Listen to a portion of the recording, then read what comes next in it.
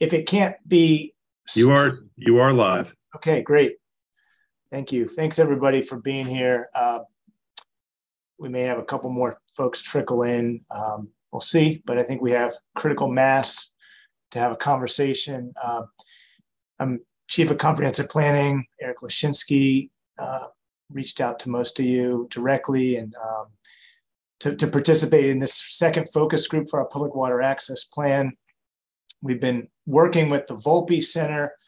Uh, Anthony is here from Volpe Center. We've been working with them since May on this plan. And then we have some other partners. Well, Brian Callahan from the mayor's office and then Eddie Gonzalez um, from National Park Service who are helping to fund this this project. Um, I just wanted to start with introductions for, for you know everybody knows each other, um, and then we can kind of get into the conversation. I have a few, just very few introductory slides that I'll do after the introductions, but let's go around. I know I um, I mentioned the other sort of team members here, but Anthony, why don't you introduce yourself? Actually, Brian, why don't you go ahead since you're another person with the city, and then we can go to Anthony. Hi, everybody. I'm Brian Callahan in the mayor's office. Hey, good morning, everyone. My name is Anthony Jones. Uh, it's good to see some of the faces again. I've worked with the I work with the Volpe Center, and I've been helping out with this Annapolis water uh, inventory project since last year. Um, looking forward looking forward to a good conversation, and you know, I'll pass on off to NPS. Hello, everyone. I'm Eddie Gonzalez. I'm Director of Partnerships and Grants for the NPS Chesapeake office. Uh, so we're really invested in uh, starting to look at uh, community level uh, work towards public access. So really happy to be involved with the City of Annapolis. Thanks. All right. Um, let's go to, I guess, uh, I'm just going to go around here um, in the order that are on my screen. And if you have an affiliation with an organization, just share that, but maybe just kind of share if you have any other connection to the waterfront. Um, be great to know. Um, Barbara, why don't you go ahead? Good morning. Uh, I'm Barbara Killinger. I've been working the last two years with the city parks. I've been renovating Horn Point Park. Uh, so it's coming along, and we just recently were able to remove two uh, aggressive, invasive tree of heavens, uh, the city cooperated with us on having those removed. So uh, I really am concerned about waterfront access because we have a lot of people using our park. We have one of the few parks with a beach, and a lot of uh, paddleboarders and kayaks and things come to use the beach, as well as people with dogs and so forth. So that's why I'm here. All right, glad you could be here. Um, Francesca, you're on mute. Uh oh. Okay.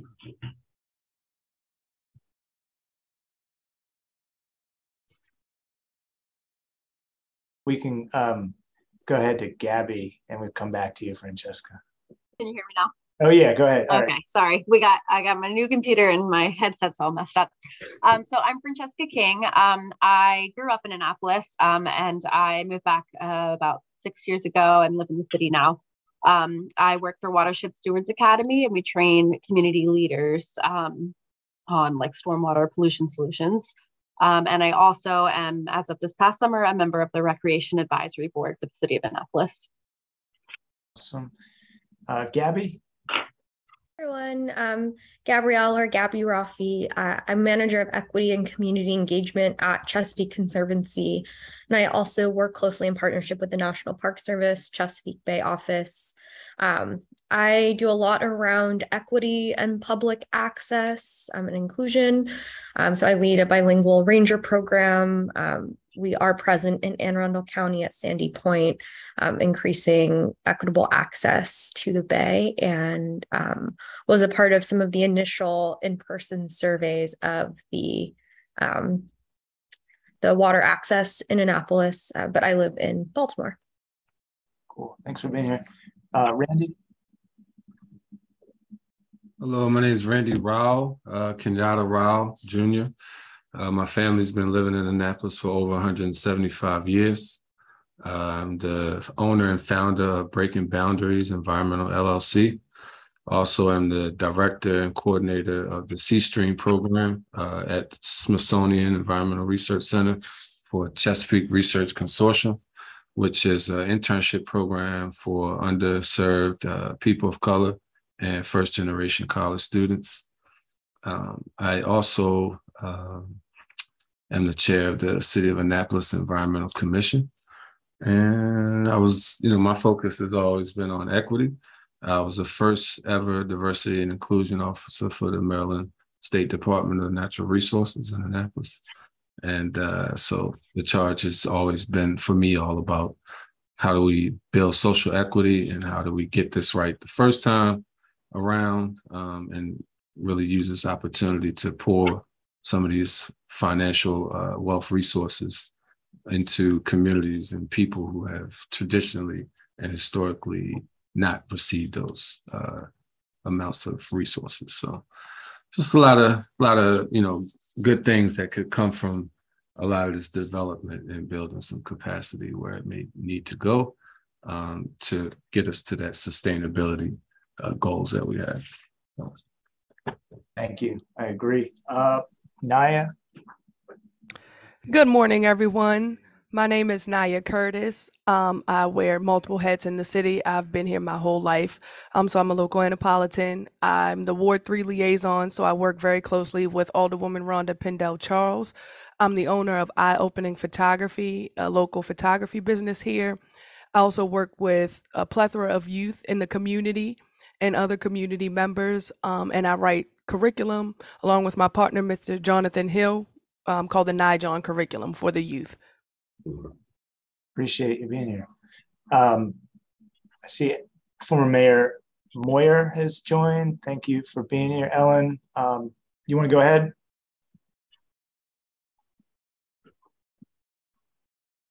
You're on mute.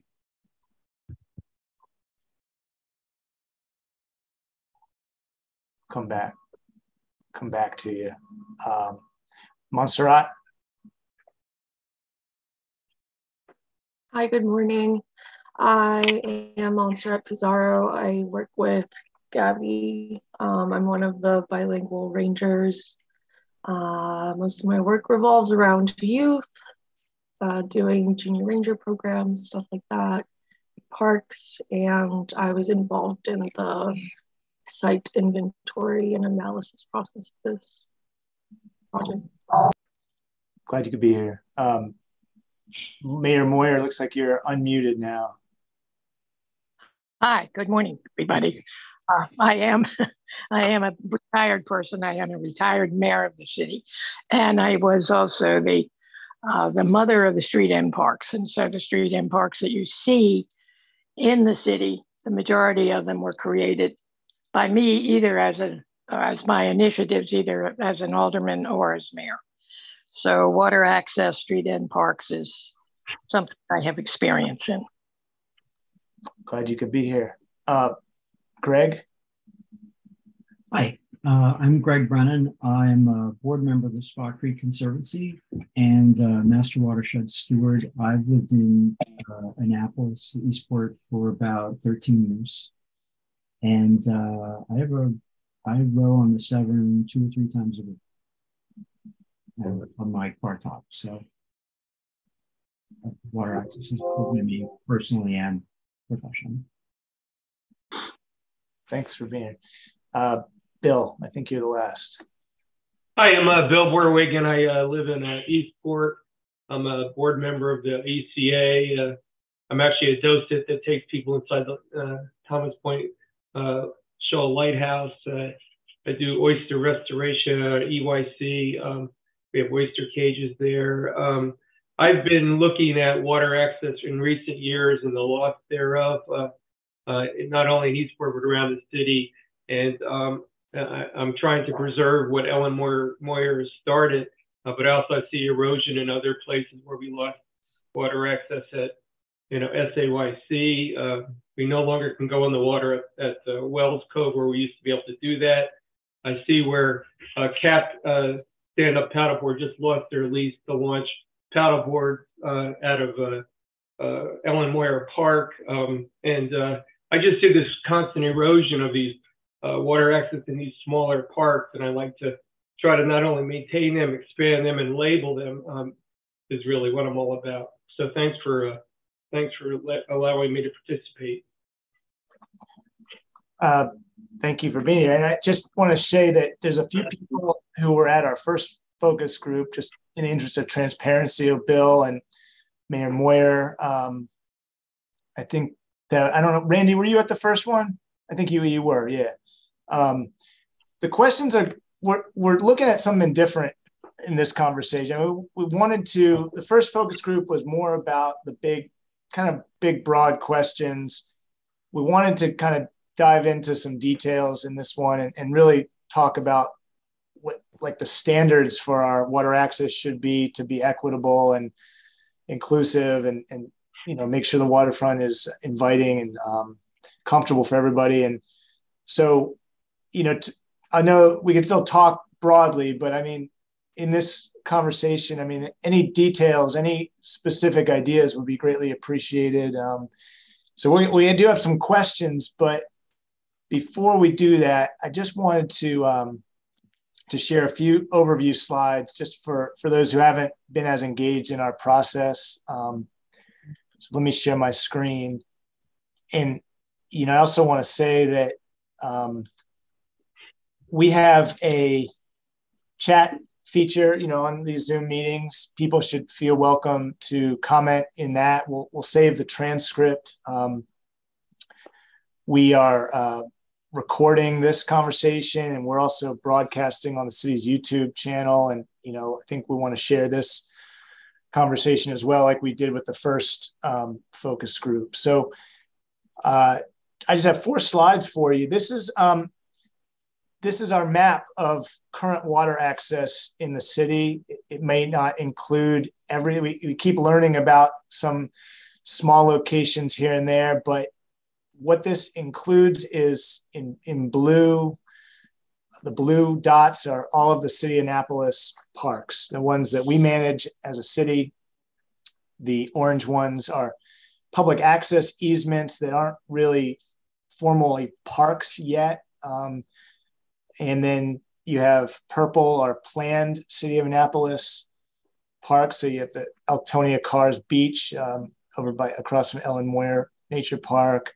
There's one that should be on here that's not. That's the Gateway Park on Rowe Boulevard is is an initiative um, that's kicked off recently, and then and that would be on College Creek, and then we have privately managed open space. So this is sort of you could think of the St. John's waterfront, um, St. Luke's off of Bay Ridge Avenue. Um, there's uh, although it's technically city owned, you know, you have uh, behind Bates. There's the Annapolis Children's uh, Chesapeake Children's Museum, I think it's called, and Thompson Street um, downtown is technically privately managed today, although it, it functions a lot like a public park, and we're trying to make formalize it as such right now. But it, believe it or not, um, we didn't have this kind of map until recently. Um, a lot of these sites are managed differently, and and uh, even within the city, some are managed by our Recreation Parks Department, some are managed by our Public Works Department. Uh, so we wanted to kind of get this baseline. Some have names that some people use, others don't. We wanted to be as consistent as possible. And so this has been, um, it sounds kind of trivial, but this has taken a bit to get to this point. Um, I think it's very helpful to kind of see where that concentration of existing water access points are. A lot of these pe- residents may not know or even hear. Um, they're in neighborhoods uh, that people may not go through regularly. And so, you know, now, you know, the idea is that these should be more visible, more identifiable uh, places. Um, we also did a map for the, the area, the broader Annapolis area that kind of shows the context of where we are and, and the other ways of getting to the water, uh, public locations, and some are county managed. There's some private sites, uh, quasi-public like the Smithsonian. Um, you know, you have uh, the the big Annapolis Waterworks Park is outside of the city, but um, city owned, and that's on the Broad Creek. Um, so, say that again. Just had a quick question. Yeah, yeah, go for it. So, is there any charge or emphasis to build or develop new parks, or is the emphasis to uh, pour into or add capacity to the ones that are already existing? Because I just noticed, it's just I'm just looking at it. Mm-hmm. Uh, all of them are on the right side of this, of, of the right side of this, the perimeter. Um, and so, is there any opportunity to build up some on the left side of the perimeter more so that it would maybe make it look a little bit more uh, balanced. You mean like uh, upriver of no, no, no, in this perimeter where you have the black perimeter. Oh, the, the city boundary there. Yeah. Right. Because they're all on the right side. So and then I also made me think about, you know, where the more wealthier pockets of the city are, and that's also kind of where all the parks are. Um, so is there any opportunity is there any thought to try to develop some to balance it out more on the left side of this black perimeter there? Well just just a comment. You notice that the blue dots are along creeks. And so um, on the left side there are very few there are creeks but there are very few that come into the city boundaries. There are some that could be good places for um, if you're talking about water access that could be utilized but not many. So it, th- that has been a challenge in the past, but it's it's definitely in the scope of this project to be looking at those opportunities if they're outside of the city limits. We have a really great relationship with Anne Arundel County right now, um, and they're they're in the same boat, uh, if you will. Um, they they need to increase public access countywide as well, and there there's an enormous amount of pressure on them to do that. People are asking for it. Um, there's only four boat ramps, you know, that you could um, drive a, a, trailer into the water, um, and two of them are in Annapolis. So um, they're they're really looking for other places as well, and and so I think we are. There's a part of this project is trying to inventory all of those potential projects and prioritize them. And, and a few have come out of the woodwork just since we've been working on this. Um, not on that left side, like you say, Randy, um, but on the creeks that, you know, like Weems Creek only has one public act, it's Tucker Street. Um, Alderwoman O'Neill created a new a resolution passed the city council just a few weeks ago for a Tolson Street park, which is um, a couple blocks away that goes down to Weems Creek, and so that will be another one. Um, but you know, we're we're kind of looking everywhere we can, I would say, and so yeah, yeah. It, would be really cool to see a drone footage of all of this. Uh, and if you don't know anybody, I know a guy, a friend of mine that does this drone, cool drone footage, real high HD stuff. But it'd be love, it'd be lovely to see an aerial shot of, uh, especially some towards the middle and the left side that don't have as much uh, things going on, but maybe some aerial footage uh, with a drone would give us some real idea, con- conceptualizing thinking uh, ability, you know.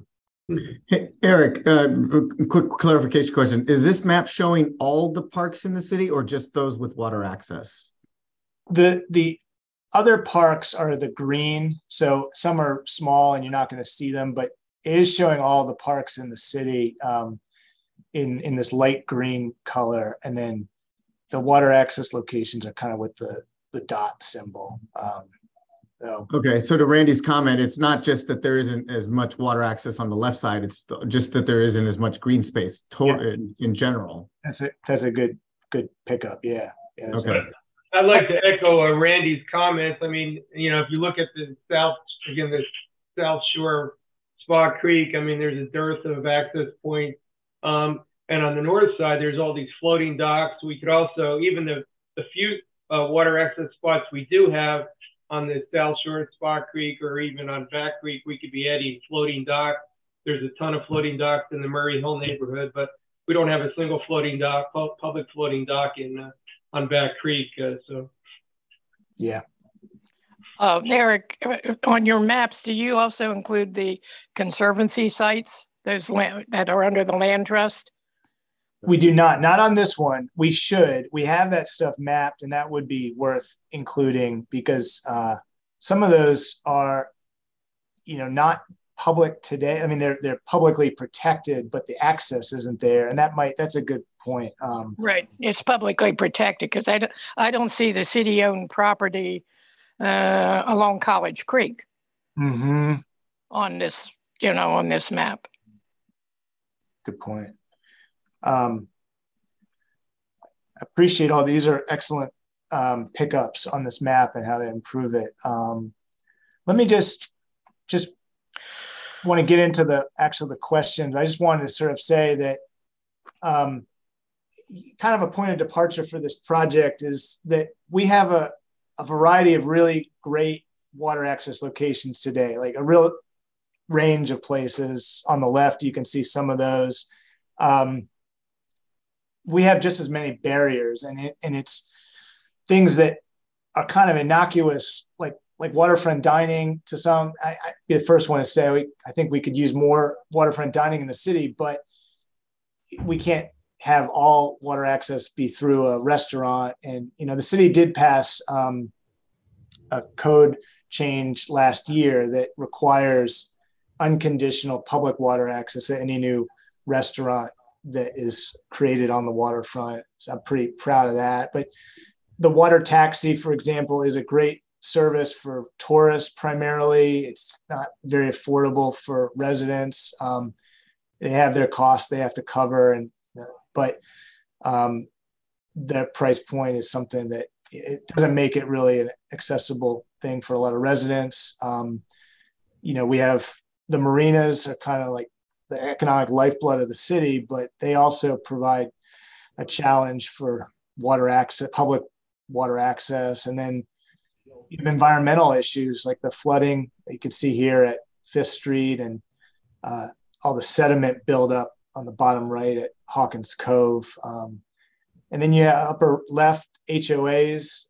You know, there's a lot of that in the county, uh, kind of private parks. Uh, there's some in the city, and you know we have to kind of work around that. So um, that's kind of what we're up against i mean that's kind of the big reason for addressing these issues in this plan. And then with volpe leading the way we we did do a, a needs assessment. We we went through every single existing water access location publicly managed water even some of the um, easements that aren't really parks per se today, like um, Wells Cove. Um, and we were able to come out with a ton of data from that. It was a kind of a blitz. We went through all these sites in a day with um, the roving rangers uh, from Chesapeake Conservancy and National Park Service helped a lot. And uh, out of all the data, I mean, these were four things that popped out at me that I think of as kind of equitable access indicators, just in terms of getting people to these sites. Um, public transit, we know we're constrained on a lot of city streets, but trying to get, you know, like a quarter mile is a fair five minute walk from a site, but um, many of them don't have that.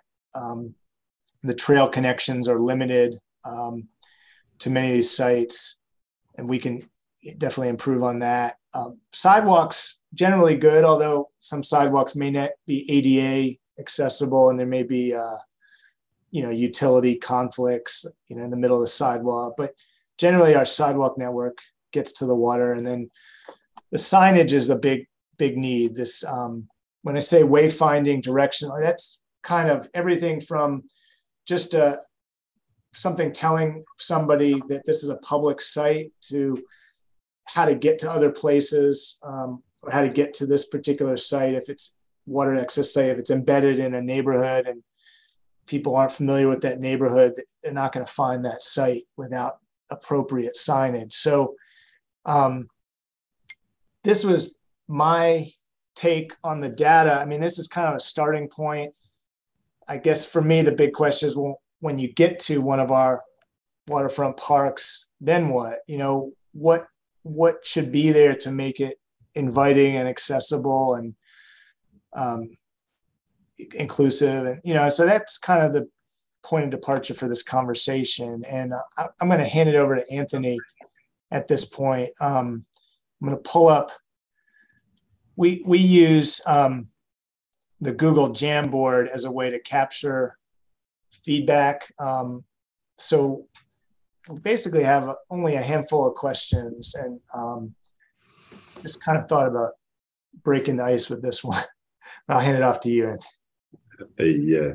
And so in in understanding that we're looking to, you know, to figure out where the the access is and how to make these parks, you know, more inviting, more accessible for everyone within the city based either on race, economic, or disabled status.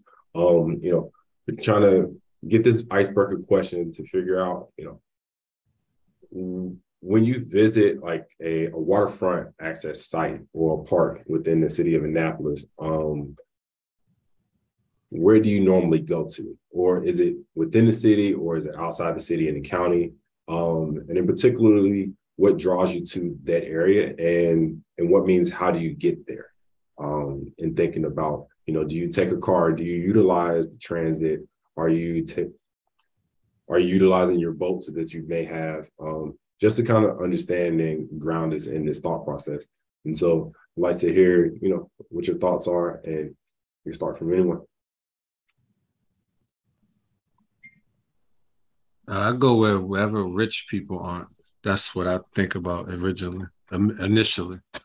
Um, I try to think about where it's not a lot of rich people at um, because usually for me it's kind of got a direct association with snobbiness or uh, issues or what are you doing here type of thing so um, if there I, I try to typically myself i try to find pockets of places where i know it's people who uh, maybe look like me or have ownership in that area um, so that way when they see me or people see me it's not automatically looked at as like I'm an outsider.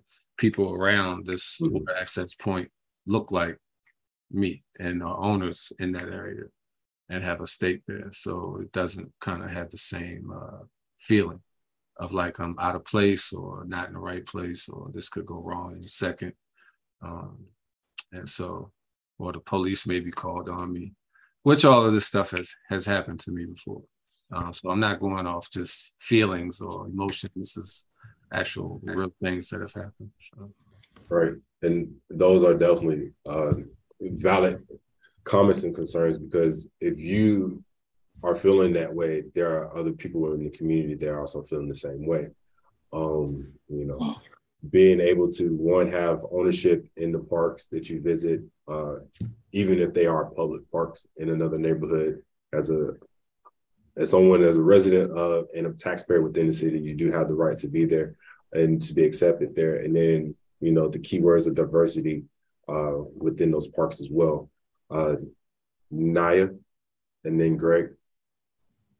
Thank you. So, like I said before, I deal with a lot of youth in the city of Annapolis. So, I go to places where um, it's also accessible for the youth, where they can learn um, about the city and even outside of the city because a lot of the youth that I work with, um, a lot of them haven't even um, been out of to places outside of their neighborhoods. So um, I usually take them to places where they've never been um, in the city and outside of the city, not necessarily even in the county. We've been to other counties um, in the mountains, things like that, so that they can learn about all the areas. And when you're visiting those places, are y'all utilizing, you know, personal modes of transportation or, uh, you know, transit and things of that nature to get there? And even within the city, what are you taking to get there? Personal transportation. Personal transportation. Yes.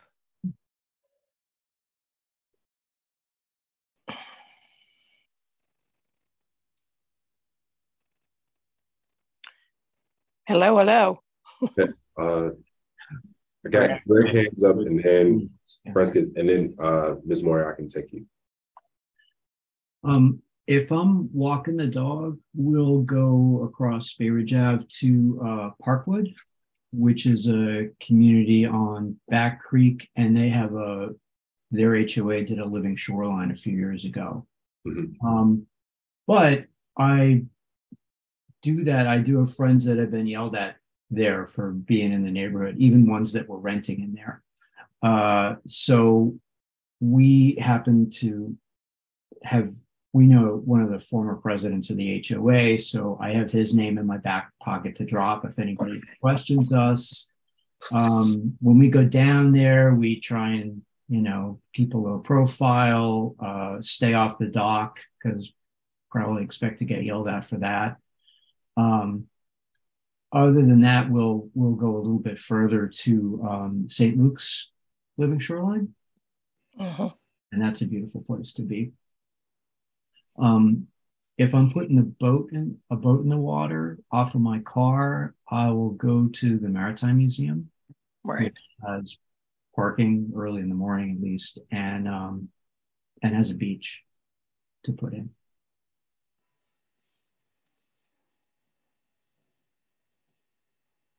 No. And and I have a membership at that museum just in case I get yelled at. Okay. So uh kind of keen on and want to clarify with the that living shoreline of the HOA, um, the park across the bridge. Uh, is that publicly owned or is it uh, owned by the uh, probably not publicly owned, probably HOA property. Right.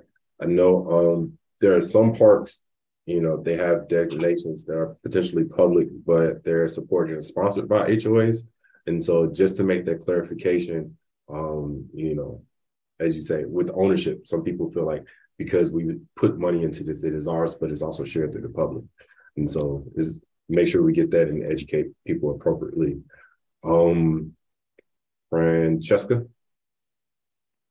Yeah, so I live in Ward Six. Um, so I walk to Truxtun Park a lot, um, and like walk on the trails there, um, or walk down the ramp um, down where like the water taxi stop is.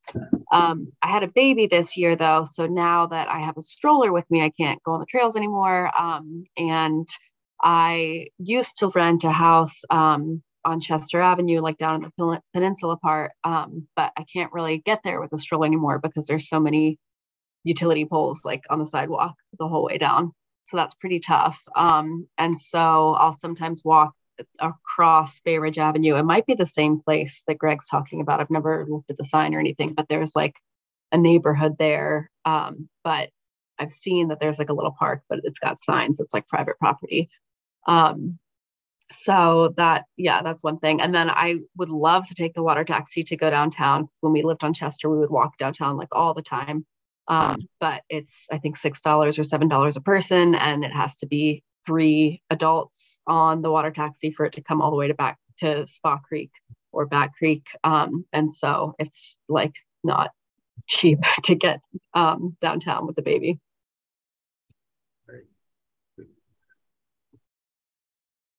Okay. Uh, and Ms. Moyer? Um, yeah, the, the, the, let's just talk about the existing street end parks, those little blue dots, mm-hmm. because they're all different and they have different personalities, uh, different features about them. Some of the comments that you made really refer to larger park areas, but so it might make make some sense to ad- identify, um, you know, to more closely identify them. For instance, the end of Chesapeake Avenue water access and the park across from Davis's pub have a different kind of personality about them in terms of use than perhaps some others. Um, they're all public property.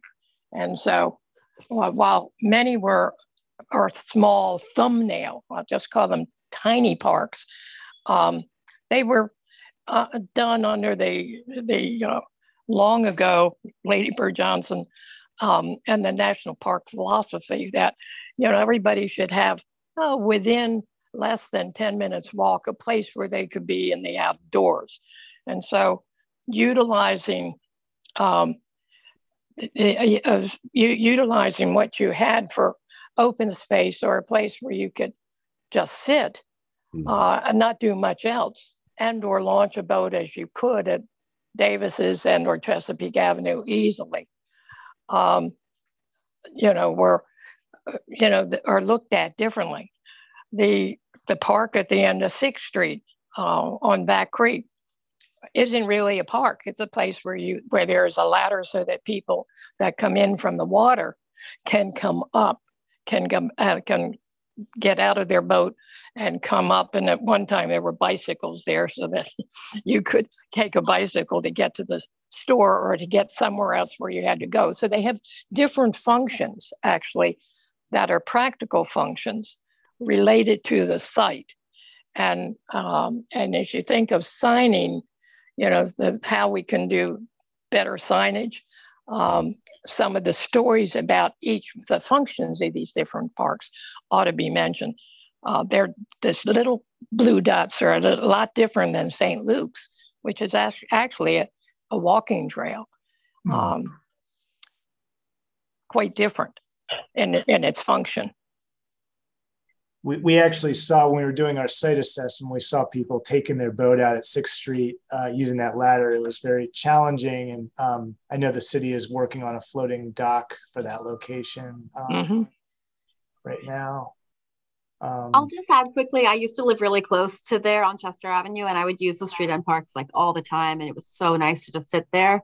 Um, but like I said, it's really hard to get there now that I'm further out. And so unless you're kind of right there, which is amazing. But as to Randy's point earlier, you know, definitely love those and would love to have just more access all over the place for everyone in the city. Right. And I'm gonna take Bill for the last and then move to the next question. Yeah, I just walk around uh, the waterfront as much as I can, and I try to go to some of these parks that are kind of unidentified. Um, and uh, you know I feel I feel awkward because there's no signage, and you know a lot of them are easements on pub, private property, like a you know Jones, you know the and the Bill Jones Alley. Some in fact the owner of that house next door just put a sprinkler system, an underground irrigation system right in the middle of the right of public right of way uh, last week, and you know no doesn't ex- it doesn't exist anymore. The city well, gave the property away. Well, they actually had they city owned 20 feet, and now they own now there's a 10 foot easement that says the public has a right to access that property. And yes, the, they do. And the homeowner came and put a sprinkler system last week in the middle of that right away, and they have bushes, so it's really hard to get back there. But I walk in there waiting to get yelled at. I haven't gotten yelled at yet, but uh, and then Wells Cove is like you have to really have a it's like a treasure hunt trying to try to find where Wells Cove is, where somebody put a floating dock that blocks the ability for the a water taxi or anybody to launch any boats there. And then I was I always walk into SAYC because the Planning Commission made a finding that you know public water access needs to continue to exist, and the city kind of negotiated that away. And I went there a couple weeks ago and I got yelled at, and the guy said he was going to call the cops if I didn't leave the property. Property, and I said, but the Planning Commission said that I have a right uh, to have water access. And he said, I don't know anything about that. I'm going to call the cops. So I walked away from that now gated property that we, we used to have access and legally we're supposed to continue to have access. So I don't know. I just, it, I, without signage and without a clear definition of what we can do at each location, right. we're just going to continue to lose, uh, lose more water access, I fear. There is a court case for Wells Cove. Does anybody know whether that's completed or not? Won or lost? There's a date of a hearing. I plan to go. I think the hearing is in March. Um, I can I'll, I'll uh, check my dates and I'll put it in the chat when when the hearing starts. It's a three day hearing in the in the court up, up at Church okay. Circle. Okay, because that is an important an an important access and. Uh, but that's you know, the fact that, like you said, Ellen. Uh, people used to launch kayaks there, and now we, again, the city seems to have negotiated that away. You know. Yeah. Uh, yeah, and it, you know, it, it ticks me off. I was going to use a different word because because I know the history on that, uh, on how that came about, and they've just really ignored it, just ignored it. It it it is for public access. It always has been. That was the original intent. Yeah. So definitely hearing but it's going to be heard in court, so the judge will decide. No, that that legal standing is definitely great to have because um, it set precedents, you know, for the city to move forward and you know ensure that everyone has equal and equitable access to all the publicly parks mm-hmm. that people deem that is private to themselves. But um, the city, but the city is, nego- is is actually testifying against water access at that site. So um, that's yes, important to know. They're they're the ones that are saying there shouldn't be able people shouldn't be able to go into the water. Mike Lyle, the city of attorney. So it's really disappointing that the city doesn't even you know defend their own you know water access point. Yeah. Well. Yeah. Yeah. They they took my testimony on it too. So I argued with their with the city attorney. Well, we reviewed that whole thing with the commit environmental commission, so I would love to just hear uh, how that goes or any updates on that as it comes. I don't know where it, it will come from. It is in a, a, well documented gap in our water access, uh, existing water access network. So, um, okay. I hope we can find a, a solution there personally. Um, Barbara, um, quickly get you and then we move on into the next statement. Uh, I had a quick comment about, well, as I said before, I take care of Horn Point Park, but I have a comment about the Jeremy Way Park, which mm-hmm. is right next door. Uh-huh. And the we started uh, complaining to the city because the bulkhead was falling in and they at one point last year stopped maintaining the park and they said it wasn't a street end park. And then uh, Mayor Buckley got involved and said, yes, it was their park. My recommendation is that we put an official Ellen Moyer sign at Jeremy Way Park because there's no official sign that says it's a city park. And I've looked at the plats and the city needs to make sure they take ownership of that park. Uh, apparently, they have agreed to replace the bulkhead, but it's not in the current budget. So I don't know what that story is. Uh, I don't know if anyone has looked at possibly putting a jetty in there and making that a beach access location. I don't know if that's a possibility, but I would hate to see a bulkhead put back if it can be converted to beach access.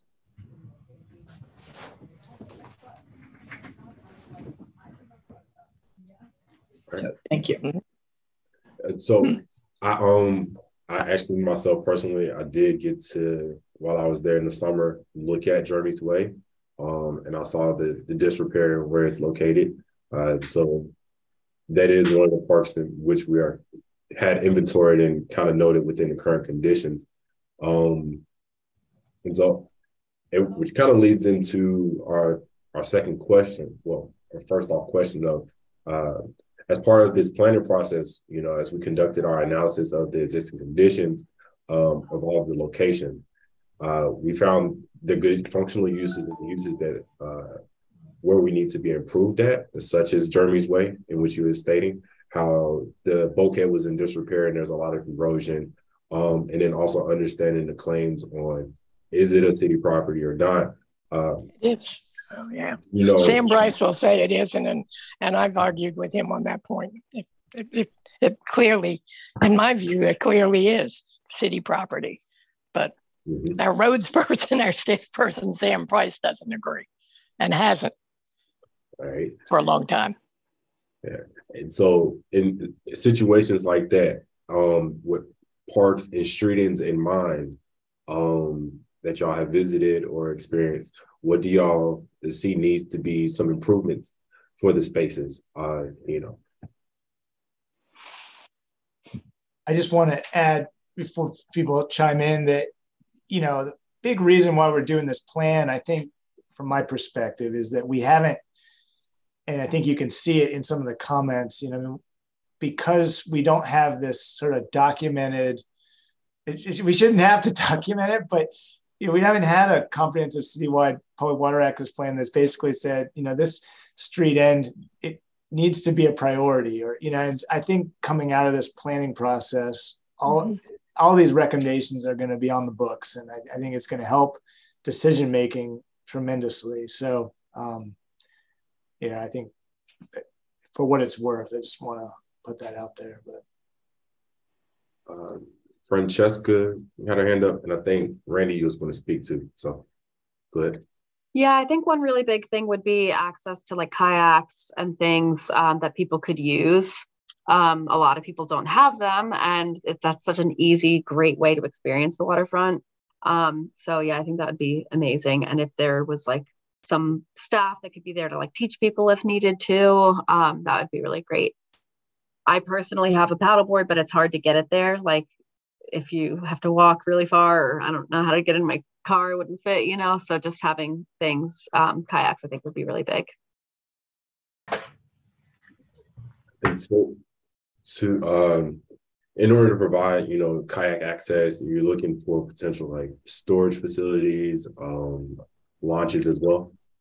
Yeah, I feel like like downtown, like around City Dock, that would be really great. Like over kind of the section with the Naval Academy could be a good spot, and then also at Truxtun Park is such a missed opportunity.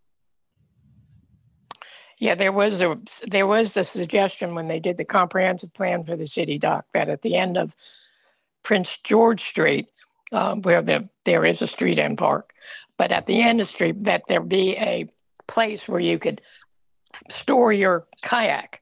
If you were paddling in, put your kayak there so that you could go downtown and walk and eat and drink and get or get ice cream or shop or do whatever. Uh, so those that is a place where, um, you know, a kayak holding, I don't know what you call them. They're multiple, you know, multiple heights uh, could be placed, and that was recommended by the kayak group. All right. So yeah. you just have to check as that plan goes on to see whether they include it or not. Okay. Uh, let's see. Uh, uh, Rodney, and then Bart. Randy. Oh, Randy. I apologize. Sorry, dude. Oh. I don't know. I I don't have a picture. I'm not sure why. uh, I think he thought your hand was up, Randy, but maybe it wasn't. Yeah, yeah, it was. Yeah. okay, so I, I'll just share. So the way that uh you know, as a sustainability professional, um, as a natural resource management professional, some one of the best practices around determining what's most critical is a proper analysis of what's most vulnerable. And it's we can all clearly agree that people of color have the least access to the waterfront. Um, and we can also all agree that the environment um, that is most uh, in close proximity to communities of color have the have the worst conditions. Um, and so I believe that that would lead to the, you know, simple solution that the thing that is most critical um, is not exactly so much an expansion, but a reinvestment. And so what I believe that is most critical is that first and foremost, it's it's publicly made clear um, and advocated, and the messaging aligns with that. Look, we are making a direct immediate and initial investment into these communities. And I think that if you don't take that route and you don't have that messaging aligned with this entire movement, it could potentially take uh, a, a, less of a community buy-in, and it, and it kind of seems to be very tone deaf if it doesn't. Does that make sense? Yeah, makes perfect sense. And Barbara? Uh, one of the things which Eric and I talked about briefly in our first discussion was the fact that it's extremely difficult to find out where these parks are.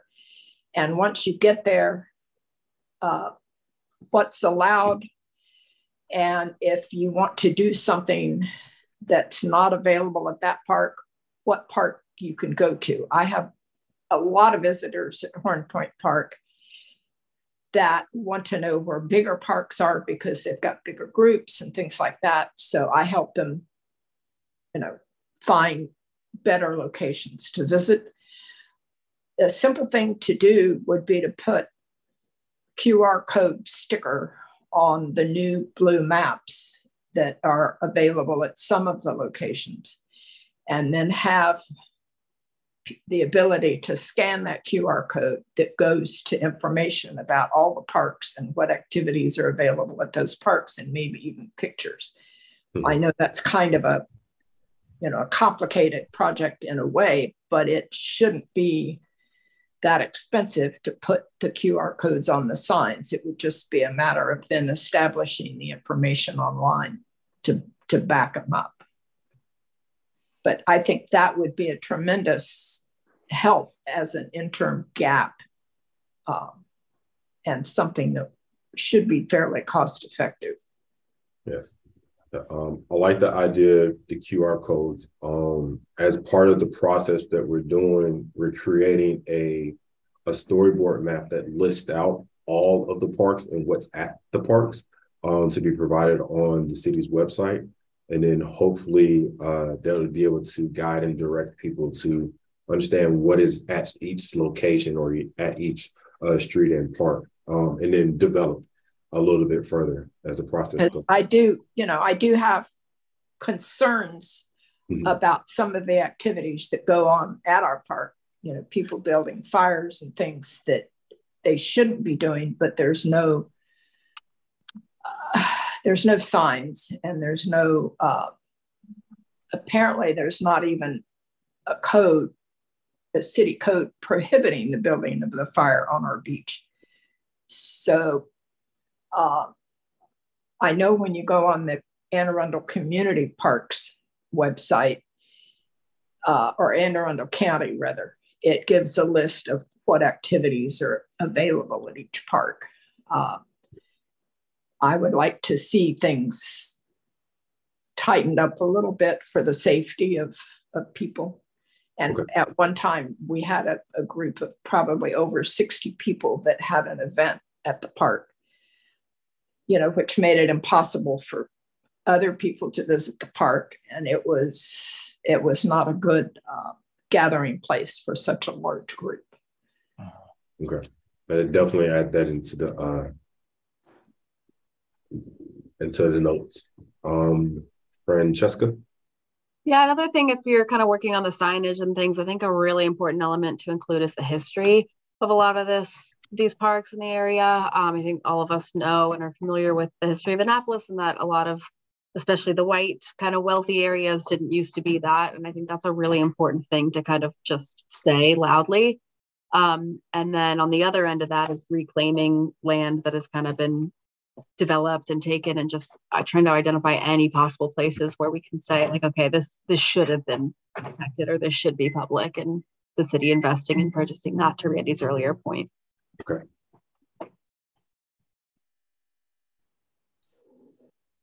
Hello. Yes ms moyer? Yeah in terms of signage um, yeah. the website is is good for people for people who are not necessarily online people. Um, you know, the, the, whole West Street corridor is a signage corridor. And if you look at some of the signs, uh, not in the midstrip, but uh, as you go in, in go towards uh, down towards Clay Street that describe what you can see and find in that community, uh, that might offer a kind of thing that can be used in different places visually for people who are just walking or riding their bikes around to see um, what parks are nearby. You could do it across from Davis's pub. You could do it, uh, um, you know, uh, you know, along along West Street.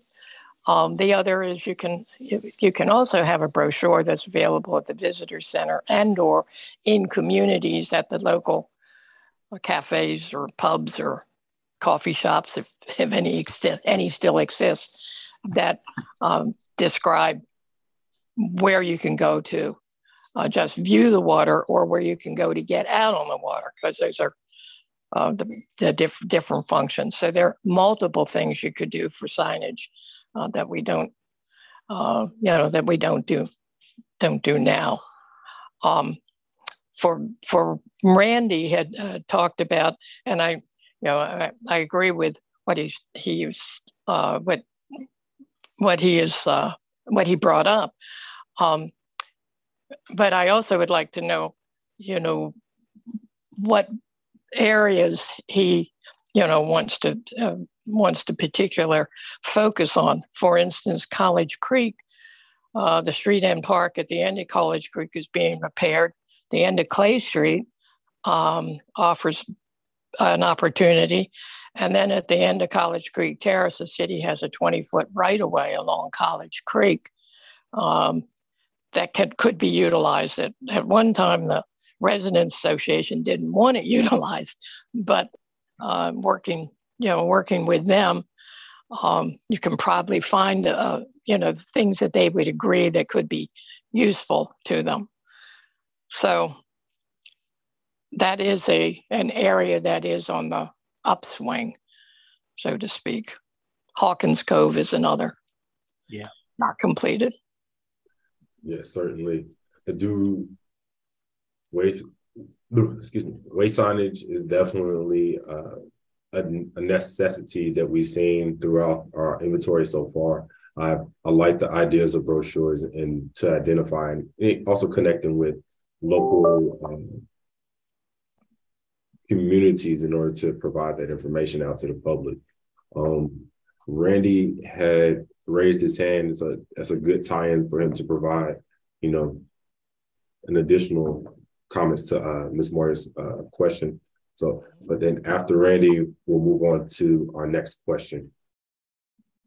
Um, yeah, just to respond, I think that uh, there are several. I guarantee you, uh, there are several, several pockets of places in the city of Annapolis that have communities of color, communities that also have uh, access to water points, whether it's through a creek or uh, even trails that could, or even walking trails that open up to a body of water. Um, and so what I'm saying is, is that maybe it's time to do an analysis um, of these places and where these pockets are so that we can maybe look to do some development and add funds and resources to build the uh, ecological and environmental outcomes and impacts as well there, as well as uh, providing an access point uh, for for uh, some underserved communities and people.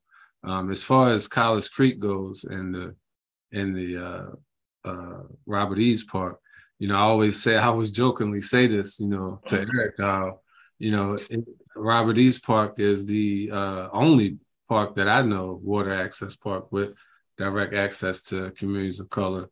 And it also is the, if you look at it, I don't know if anybody's rode past it recently. um, it is the most underinvested park in the city. Um, it, it, in my opinion, you know, it just it, it, could really use some work there. Um, I, I, put a link in the chat for this place uh, that I visited, and I suggest everybody visit it. It's called Eckington Parks. It's in DC, right when you first come in the city on the right, uh, right where the Wendy's used to be. Just go and walk through it and check it out. I think that it's a very, very, very good example of the type of level of uh, work and, and and and quality that goes into these types of developments around parks and instituting the arts and the people in those uh, activities uh, that gives them a sense of ownership. So, um, and then also, I was just going to add that another critical point to add to this is that it's most critical um, is breaking up historical monopolies. Um, and that is historical monopolies that have traditionally and historically been able to benefit from the life and luxury and commercial business side of access to the water. Um, that is a complete divide, and we are we're kind of touching on it here and there, but I think we're very tiptoeing around this issue or this this serious kind of matter that took place of hundreds of years that laws and legislation and redlining and and and unemployment and you know all these their gentrification played a part in why the, there is a, such a divide um, in the city that has this water access. So Uh, we're talking about tra- taxis and trolleys and talking about green infrastructure development, planting trees, and taking care of invasive species trees. Um, we're talking about building trails and and different educational signage. Um, well, I think we need to also look at that as well, which is how do we make it in a way that it breaks up these historical monopolies that are always at the table and are always had their businesses and had their input in in the mix. Uh, prime example of that is the SAYC and what happened with that. So that's why I put that in. No, I definitely appreciate those notes and comments. Um, as we look at those communities um, and segue into our next uh, question, we are planning on doing targeted uh, community outreach, uh, particularly to our Black and Brown and communities in the area. And so to help them provide the same comments that y'all are providing now and also identify other locations within their neighborhoods and cities and how they reach those parks. Uh, so with that in mind, uh, do you know anyone or of within your, you know, your sphere of yourself that don't use waterfront or publicly accessible, uh, well, accessible public parks, uh, and why don't they utilize them? Um, you know, feel like we, we've touched on this already in some of the other questions, but um, yeah, just trying to be a little more direct. Either it's because they don't feel safe or comfortable going to other neighborhoods, or they don't have the access to them, or that they're, say, on the west side of the city where there's limited parks, um, that they're not there. Uh, do you hear those concerns um, about you know what is there and what's not there, and how they they feel about not being able to access uh, the water appropriately? uh, Francesca? Yeah, Francesca. Um, I will just share. So when I was in college, I worked at a camp, uh, summer camp called Box of Rain that's in Annapolis. Um, and if you don't know the history of that organization, I can let you know. Mm-hmm. Um, but um, that was working with kids from communities who didn't have access. Um, and I recently connected with a girl who was a camper and is now a full grown adult um, and she was saying how that was like so great for her and she loved having access and she that was the only access she had so she lived at bywater and she didn't have other ways to connect and she kind of had that for several summers and wanted to do it and now that she's an adult she's like i want to get back involved and be giving kids that opportunity that i had um, and i just there's i can't find any way to do that um, and i'd love to put you in touch with her too so you can hear more directly from her I, that would be great. Um, because as I mentioned, we're we're looking to do these target, uh, you know, outreaches in the community, um, and so having that feedback would be appropriate. But there, and I know Eric, in trying to do the survey and reaching out to you know the Hispanic populations and then also the African American populations, which we did earlier, uh, we didn't receive as much feedback and so to tie that in, do you know of ways to better reach them? Um, you know, besides going directly to them um, to hear about their concerns? Yeah, so I actually have a few contacts I was going to share with Eric after this um, that I think would be really important voices to hear from and to help get that survey out. Mm-hmm. Um, so there's another organization called Charting Careers that um, has like staff who are based in various communities. So I think it'd be really important to speak to those people um, who are those community liaisons. And then also, um, my neighborhood is like almost entirely Latino. And I know that I looked at the survey results and it was a really, really low rate. And I never, I, I didn't know about the survey until I heard about it at a conference a couple weeks ago. So I'm definitely going to try to help and get that out there. Um, and yeah, I'll, I'll share some information. All right. I appreciate it. Uh, Randy? Yeah, I think uh I think we all kind of I mean, do I know any one specifically or communities? I think, you know, if I think the the data definitely shows uh low income communities uh, don't have as much access. Uh, public housing communities don't have as much access. Uh, and for my novice of the city, would you be able to identify those particular neighborhoods for me? Um, uh, I, know, I know around College Creek, there's probably some, but just the neighborhoods to. Annapolis has more public housing communities than anywhere in the United States per capita. Mm-hmm. A little fun fact for you. Um, and I'll just name them all. I mean, Annapolis Gardens, Bywaters, College Creek Terrace, uh, Obery Court, Eastport. Uh, I mean, um, uh, Eastport Terrace. East, Harbor House. House. That's what I'm sorry, Harbor House. uh, they Annapolis Woods, uh, Robinwood, Osborne Estates. Shout out to my partner Beverly. um, Newtowne 20. Uh, no, 20. And if you really want to step outside of the city of Annapolis, there are in the in the uh, broader Annapolis 21409, you have Mulberry Hill, Browns Woods, Clay Hill, and you have Skidmore. And uh, that's where, you know, I grew up that over there on that side of town. But okay. That's that's those are what I would say communities or uh, those that I believe had the least amount of use uh, uh don't have access to use or only maybe don't know how or maybe don't even have a reason or desire to um, and that and that that that lack of desire didn't just happen overnight um, because we all are descendants of a community that largely were commercial uh, you know uh, businesses in the in the industry. Um, and we all you know know that we all know that story. Um, if you all don't uh, you know it's a very rich story. Um, and so uh, that's and, and not to mention we talk about those who don't have access. These are not only just people that live in those communities, it's also people that are low and middle income. Mm-hmm. Okay, low and middle income earners do not have the same access to waterfront.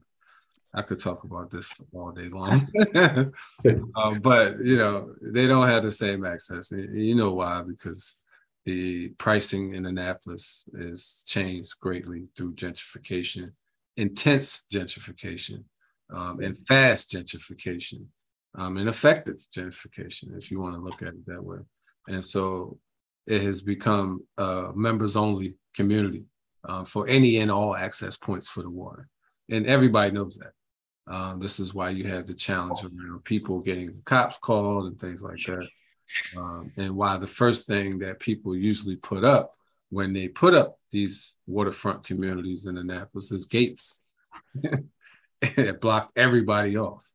You got to understand well, that there are communities that have been in Annapolis who immediately, as soon as that they got these water access points that historically were com- communities of colors water access points, they immediately blocked off the public and so, what does that lead you to?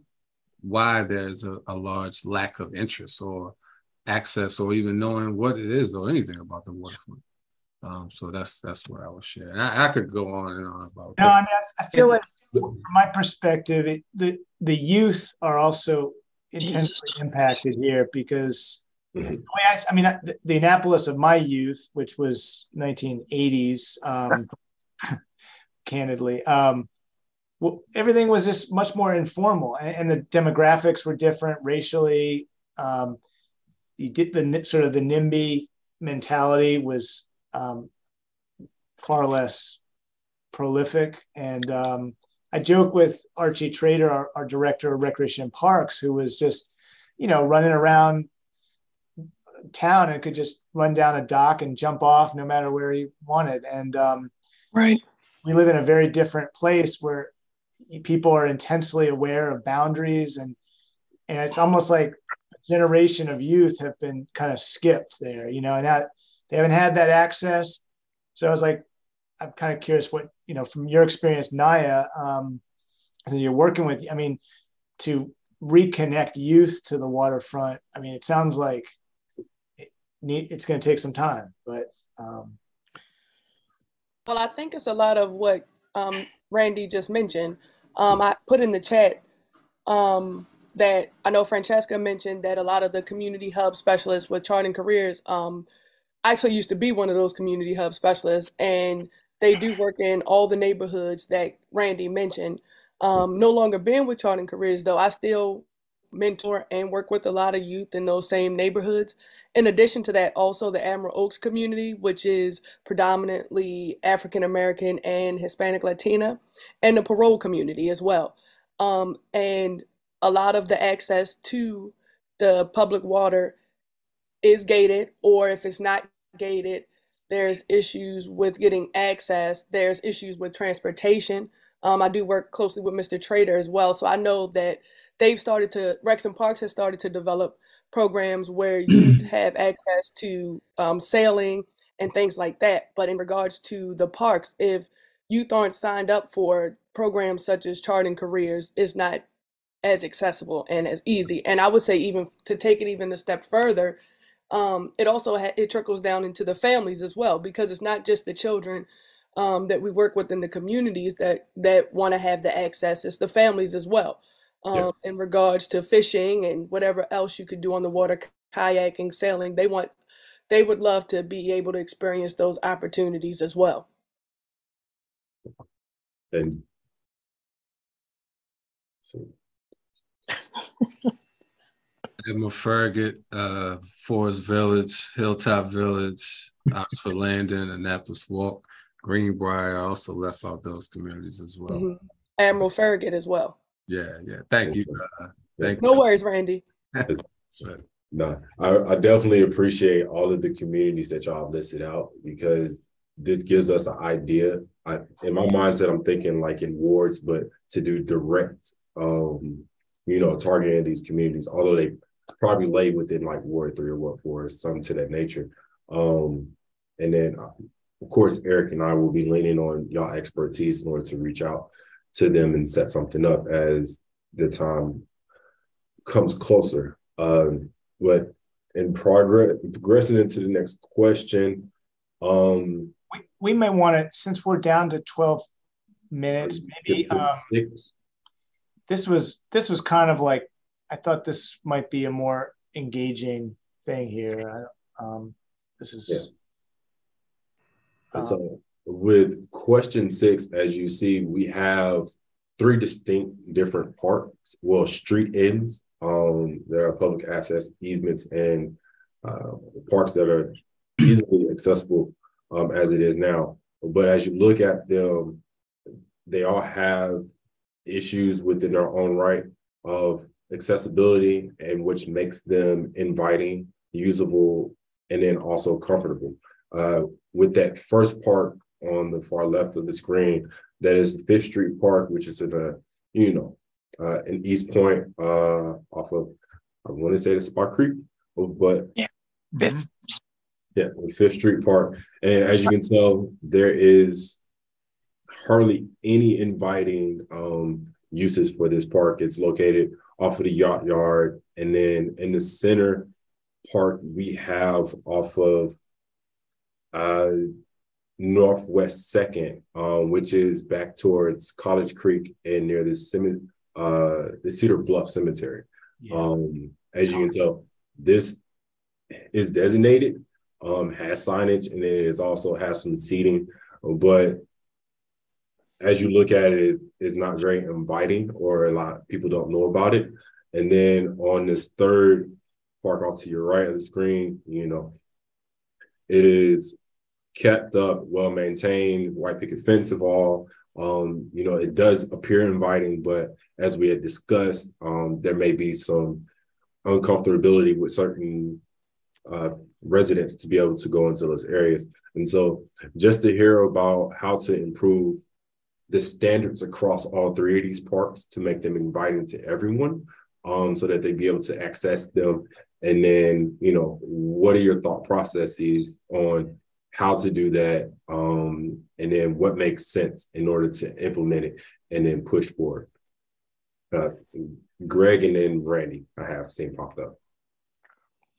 Um, I just was excited because I put a put boats in off of uh, uh, Fifth Street, and they really need some dock cleats because it's there's no floating pier, and it to get into a boat safely, there's nothing to tie your boat to. You've got to put it in, and hopefully Right. it won't fly away from you. Mhm.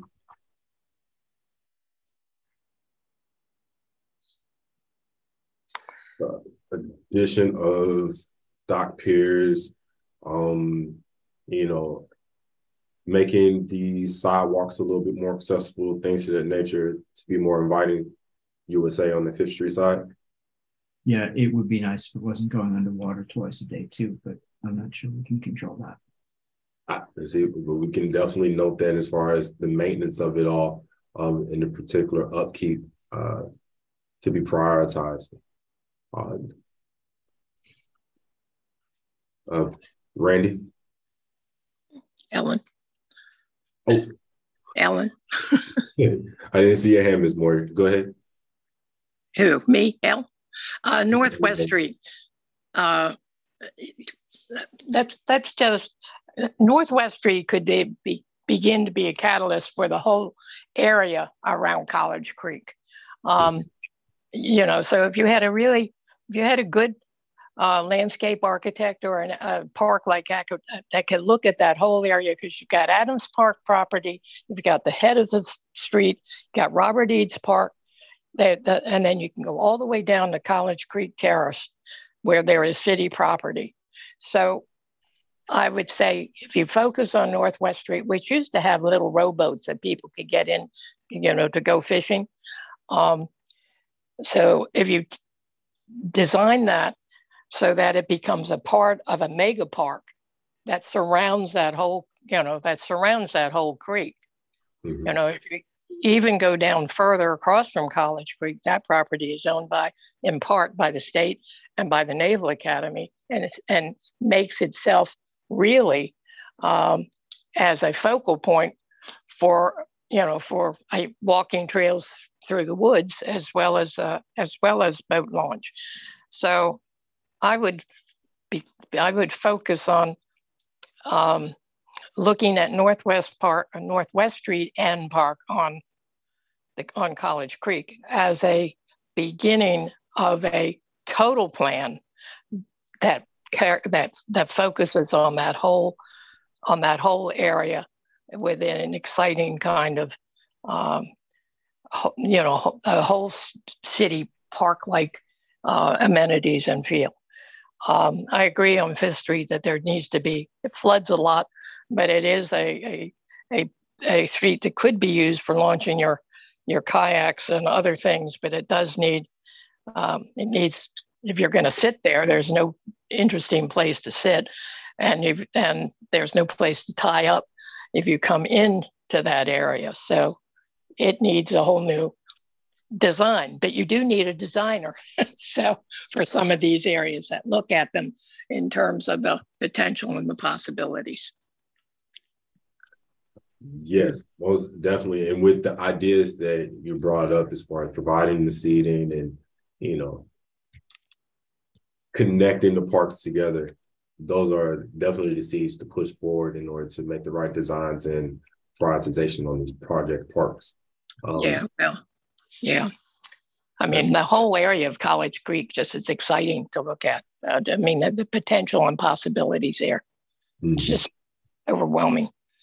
No. Uh, Randy?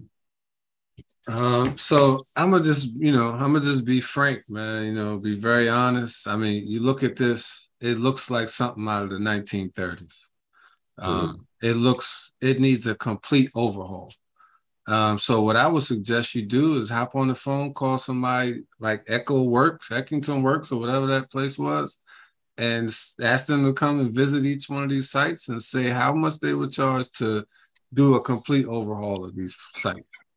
Uh, and if you wanted to, if you don't know what that may look like or what it looks like, you can go and visit that spot I said because it's a clear indication of what things should look like in the 21st century.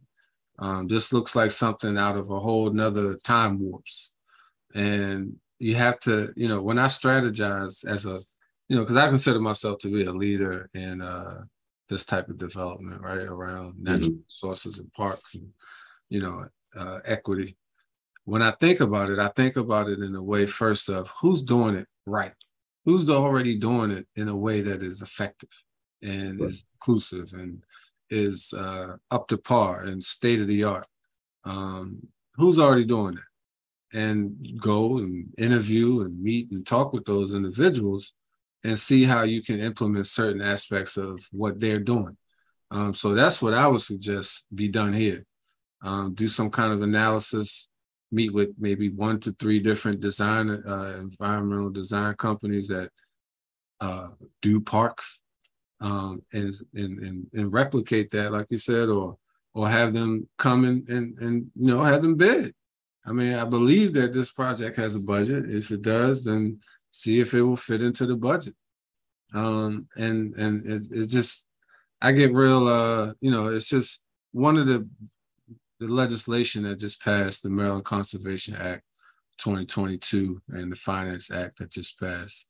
Uh, one of the biggest purposes of it was to incentivize and accelerate environmental outcomes and to replace gray infrastructure like this um, with blue and green and more state of the art and more sustainable infrastructure, especially on waterfront access points like this, um, where it's it's it's even more of a, a, a tricky, more of a, a detailed analysis that needs to take place there because you have to consider the rising tides and, and the impacts of climate change and things like that. So, um, and and and infusing the arts. I don't see any artwork at any of these spots, and it should be full of life, looking and feeling at the same time. Uh, have a have a cutting edge feel. Yeah, if I could chime in on the arts, because I think you're right uh, that all of these parks could have some really interesting art, and it could be a major function that the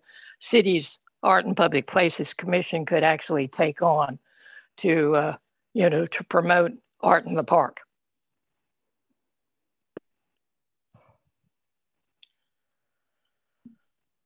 I'm loving the validation that I'm hearing right now because with our inventory, we definitely surveyed as far as like infrastructure, green infrastructure, blue infrastructure, what is currently there, trying to understand what is there as far as art and what it's connected to. And then just hearing how we can elevate that with the ideas that you brought and connecting it to build this plan for the prioritization of potential projects that, you know, say Echo Works can, you know, make a design of. Uh, these are definitely going in the right direction and echoing what we are anticipating on hearing and seeing. Um, I see that Francesca just put into the comments uh, about urban studios and foundations. Um, wanna Yep, I've heard of them. Yeah, they dope too. you want to expound upon that just a little bit more? And we're actually coming up on our time, so know. Sorry, my mute button was hidden. Yeah, so that's um, a great organization. Maisie and Kendra founded that, and they focus on like kind of this exact thing, like community green space with community input and design. Um, and they've done really cool things where they've like included youth and kind of taught youth how to design green spaces um, and included them in projects. I think that'd be a really great group to connect to. Okay, that that is great to know. Um, and if I did not get to your comments um within the chat, uh, do apologize, but I am taking notes and will respond accordingly to them. But um, you know, I do appreciate y'all's feedback on what we have garnered so far, and we'll be sure to set up another focus group, which I hope y'all uh, be able to attend. And then I'll reach out.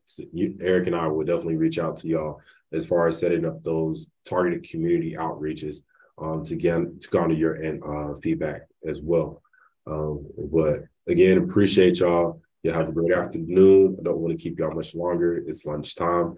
I know you're possibly hungry, but if you have any other questions or concerns, please reach out to us. Let us know. Can I just ask a quick question? Yeah. Um, Yeah, so the focus groups, are they kind of meant to build on each other or are you trying to have others with different people? So the focus group are is meant to build on each other. Okay. Um, so the questions that we develop on the first one kind of feed into this one, and then this one will feed into the next focus group. Okay. Um, and then So, sorry. Oh, and then just utilizing all the the feedback that we gained. Um, we're also going to kind of test it against the small community outreach, um, and then larger plan as well to incorporate, And- make sure we hit everyone and guided it correctly. And then in terms of the participants, sorry to interrupt, Anthony, we just, For the most part. we're building on, we- we're having some people continue. We're trying to keep the group being, we want to make sure the group's diverse and it's hard to fill these groups. It really is. Um, so, you know, we try to have some carryover of participants, but we try to bring some other people in just based on what the topic is and people who could have some perspective on that. So uh, I think the next one is going to be on partnerships. Um, probably do it in January. So uh, probably following up with some of you for that. Um, that's the plan right now. But I really appreciate all the candor here. Um, you know, the, these are th- these are just heavy topics. I mean, I think that should be um, out there in the public, and there's a lot more we can do with the foundation we have here, and um, so we have a lot of good content that'll go into the plan. Um, I appreciate everybody's contributions. And so, Greg, um, that is a, a great point. Um, I think during our partnership meeting, that a waterfront property owner may be in attendance as that as well, uh, just to understand, you know, their thoughts and processes on you know, how they see their parks or the ownership and rights of that all. So we'll be able to work and coordinate with them. Um, you know. Yeah. All right. All right. Thank Uh, you. Have a good rest of your day, everyone. All right. Appreciate Thank you. All right. Take care. All right.